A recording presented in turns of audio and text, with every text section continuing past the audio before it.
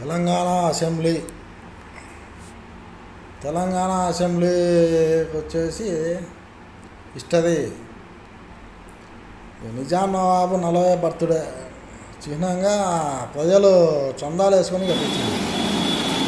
పంతొమ్మిది వందల పదమూడులో ఎనిమిది సంవత్సరాలు పట్టింది.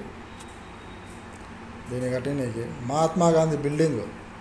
మా మహాత్మా గాంధీ స్టాచ్యూ ఉంటుంది. ఇది ఇండియాలోనే పెద్దది టాలెస్ట్ స్టాచ్యూ మళ్ళీ పంతొమ్మిది వందల ఎనభైలో దీనికి అడిషన్గా మళ్ళీ సపరేట్ పక్కన బిల్డింగ్ కట్టినారు దీనికి.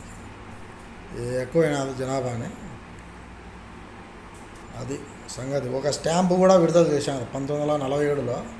మన స్టాంపు పైన అసెంబ్లీ సింబల్ ఉంటుంది.